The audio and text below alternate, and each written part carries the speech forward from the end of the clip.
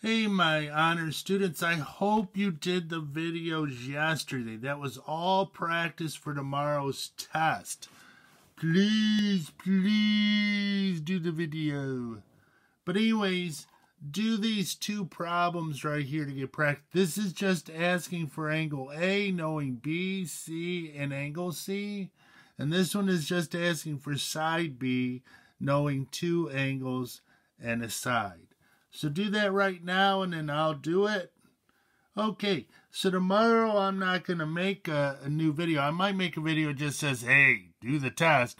Or for my 8th graders, I'll make a video that just shows the test so you have something to do to send me. But my high school, the test will be on Schoology. Schoology. And it will be given in the morning and you have till 8 o'clock at night. And I'm going to start taking uh, points away for late unless you have a good reason. And there's a lot of good reasons out there. Uh, so anyways, uh, let's do these two. Should know how to do these now. Uh, I always make a little triangle to help me out. Do you have to? No, but you do have to show your work on tomorrow's test or I will take major points off. So, uh, C is 36. B is 30. I know angle, I don't know angle A. Uh, so I'm going to use trig. Uh, A is, this is adjacent. This is hypotenuse. That's cosine. So I'm going to do cosine. I'm looking for the angle equals 30 over 36 adjacent over hypotenuse, correct? So let's see what we got here, my peeps. And of course, my calculator won't turn on. Oh, there we go. So let's see. I gotta find cosine. Then I'm gonna go uh, 30 divided by 36 and I get 33.56. Now yours might be a little bit different. Now if you got 50, that's not a little bit different, my kids. So, this one. Now I know angle B right away, it's 50, because those two have to add up to 90, but it's not asking for angle B, it's asking for side B. Mercy. So let's see A, B, C, C, A, B. Now I'm looking for this side. I know that this is 200 and I know that this is 40. Now again, I could use this if I wanted to use 50, but adjacent over hypotenuse that would be cosine again. So cosine 40 equals b over 200. So it'd be 200 cosine 40. Make sure you're in degrees. Hopefully I'll write that on the test tomorrow because most people forget that. And that is sad. So 200 times cosine of 40. And I get 153.21. Now, new stuff. This stuff won't be on the test tomorrow, and that's the law of cosines. What if you do not have a right triangle?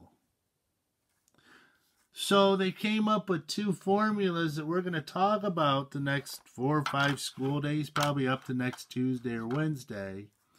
And uh, if this was normal class, you'd have to memorize this formula. But I'm not going to make you memorize it, just know how to use it. Law of cosines deals with two types of triangles, or two types of information in a triangle. You have to be given two sides and the included angle, the angle made by the two sides, or you have to be given all three sides and you're looking for an angle. So, uh, notice this. If I have, now notice uh, the triangle isn't drawn to scale. So ABC, this would be CBA. And I tell you, this is 5, this is 7, and this is 40. Notice I'm giving two sides and the included angle. So notice if I have this distance, this distance, and I know how far apart they are, then there's only one measurement the opposite side could be because I know how far apart they are. So I'm just going to pluggy chuggy. It'd be, uh, it's the side we're looking for squared equals other side squared plus other side squared. So it sort of looks like Pythagoras, but then you got to subtract twice the other two sides, cosine the opposite angle, which in this case is C. So it's unknown. I'm looking for side C squared equals other side squared plus other squared minus twice other side cosine the angle opposite the side. So in this case, I have c squared equals 5 squared plus 7 squared minus 2, 5 times 7, cosine 40 so uh, 5 squared is 25 plus 49 minus, uh, this is 10, that's 70, cosine 40. Now here's where you got to be careful. And we're going to do more of this on Friday, so don't panic. A lot of people will get this far and I actually think if they're not bad numbers, simplify as far as you can go without a calculator, then use a calculator. But a lot of people do 74 minus 70 is 4, and you cannot do that. Does anyone remember why? Remember why? That's right, the order of operations. So, oh shoot, I just dropped my calculator. Uh, Menudo.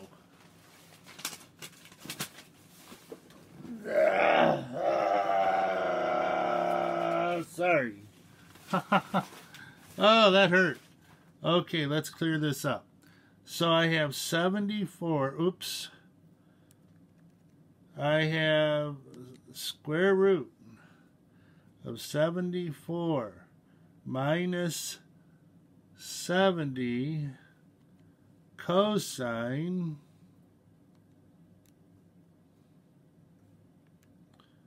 uh, 40 close parentheses, close parentheses, equals. And I get uh, 4.5. Now notice C is not the biggest side this time, but that's because C is not the biggest angle. This is not a right triangle. So you have to be careful. In a right triangle, C has to be the biggest. Now let's look at this one. We're given all the sides. Now it says find the largest angle. Which one would be the largest angle? Well, remember the largest angle is always opposite the largest side. So it would be c squared equals a squared plus b squared because c is the largest angle. That's what we're looking for. I'll bring this up. Minus 2ab cosine c so I would have 18 squared, which is 324 equals 12 squared is 144 plus 10 squared is 100 minus 2ab this is 120 so that'd be 240 cosine C. So 324 equals 244 minus 240C, cosine C, excuse me. So I'm going to subtract 244. that would be 80 equals a negative 240 cosine C.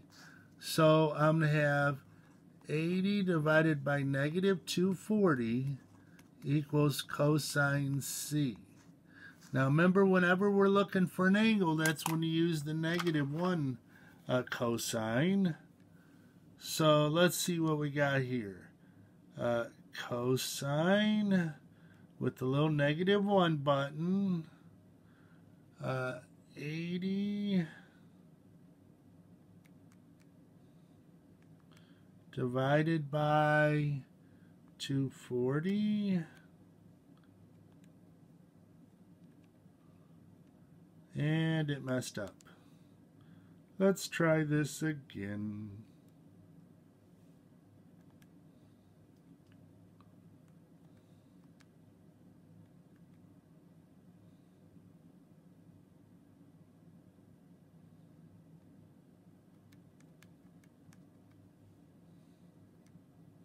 Oops, I messed up again. One more try, and if I don't get it, I'm going home. Okay, cosine.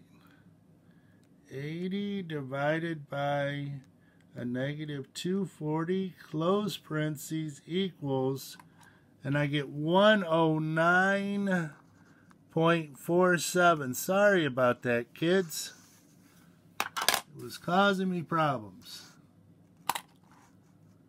Okay. Have a good day. You might want to review stuff. Don't cheat tomorrow, okay? Don't cheat. Bye.